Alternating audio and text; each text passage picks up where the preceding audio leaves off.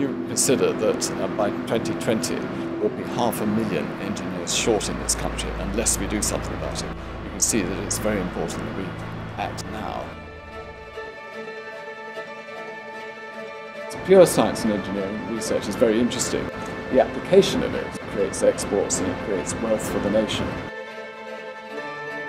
It's one of the world's greatest universities, Imperial, in collaboration with one of our country's greatest inventors, uh, James Dyson. If we can excite young people that um, by using science and engineering we can create wonderful, interesting products to solve problems. You start with an idea, you develop it, you prototype it, and then you finally display it as a product that can be actually brought to the market.